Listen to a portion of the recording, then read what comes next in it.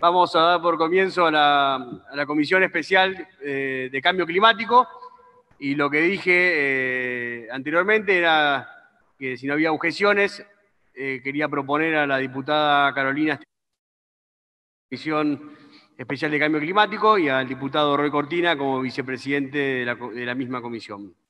Bueno, estoy muy contenta. Trabajé muchos años en la temática, así que eh, creo que voy a disfrutar mucho de estos dos años en, que presida la comisión. También estoy contenta de tener a Roy como coequiper en, en, esta comisión que es especial, no despacha, pero igual nos aseguro que vamos a tener mucho trabajo, sobre todo acompañando el compromiso de la ciudad de ser carbono neutral 2050.